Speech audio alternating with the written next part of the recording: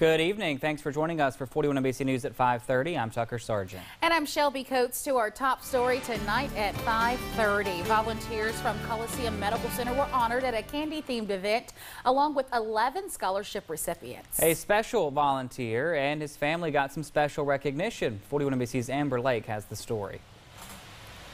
Sandy Tyler, along with her daughter and son-in-law, were recognized and received an award in honor of the late Felton Tyler, who passed away four weeks ago.